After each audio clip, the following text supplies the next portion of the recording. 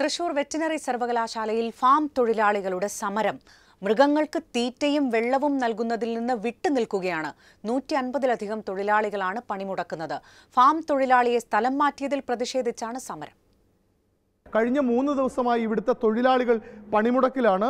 ഇവിടെ നിന്ന് പാൽ കറന്നെടുത്ത് തൊട്ടടുത്തേക്ക് എടുത്തു കൊണ്ടുപോകണമെന്ന് ആവശ്യപ്പെട്ടു. ആവശ്യപ്പെട്ടതിനെ തുടർന്ന് അതെന്റെ ജോലിയല്ല എന്ന് പറഞ്ഞതിന് അദ്ദേഹത്തെ വകുപ്പുതല നടപടിയുടെ ഭാഗമായി മറ്റൊരു സ്ഥലത്തേക്ക് മാറ്റുകയും ചെയ്തു. ഈ നടപടിയിൽ പ്രതിഷേധിച്ചാണ് നൂറ്റി അൻപതിലധികം വരുന്ന തൊഴിലാളികൾ ഇപ്പോൾ പണിമുടക്കുമായി മുന്നോട്ട് പോകുന്നത്. ഈ ഡിപ്പാർട്ട്മെന്റ് ഹെഡ് തന്നെ ശ്യാമോഹൻ നമുക്കൊപ്പം ചേരുകയാണ്. എത്രമാത്രം ഗുരുതരമായ പ്രതിസന്ധിയാണ് ഇപ്പോൾ യൂണിവേഴ്സിറ്റി ഈ ഡിപ്പാർട്ട്മെന്റിനുള്ളത് വളരെ ഗുരുതരമായൊരു പ്രതിസന്ധി തന്നെയാണ്. എട്ടാം തീയതിയാണ് അദ്ദേഹത്തിനെതിരായിട്ട് നടപടിയെടുത്തത്.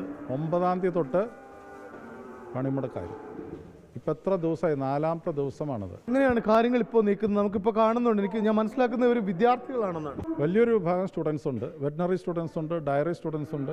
എല്ലാ ഫാം സ്റ്റാഫും വർക്കിംഗ് ആണ്. അവരുടെ തൊഴിൽ ഇതല്ലെങ്കിൽ കൂടിയും സയന്റിഫിക് സ്റ്റാഫ് ഞങ്ങളെല്ലാവരും ഒറ്റക്കെട്ടായിട്ട് ഈ ആനിമൽസിനെ ഒന്ന് നോക്കിക്കൊണ്ടിരിക്കുകയാണ്. അതുകൊണ്ട് ഇതെല്ലാം ഇങ്ങനെ ജീവനോടെ നിൽക്കുന്നു.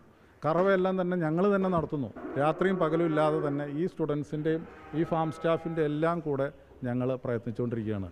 ഇന്നലെ വൈകിട്ട് ഇന്നലെ ഉച്ച ഉച്ചതിരിഞ്ഞ് ഈ സമരം ചെയ്യുന്ന തൊഴിലാളികളുമായി ചർച്ചയുണ്ടായിരുന്നു. ആ ചർച്ച പക്ഷേ വിജയം കണ്ടതുമില്ല. തുടർന്നാണ് ഇത്ര ഗുരുതരമായ ഒരു പ്രതിസന്ധിയിലേക്ക് കാര്യങ്ങൾ പോകുന്നത്. വെറ്റിനറി സർവകലാശാലയിലെ ഫാമിൽ നിന്ന് അഞ്ജുരാജ് ഏഷ്യാനെറ്റ് ന്യൂസ്.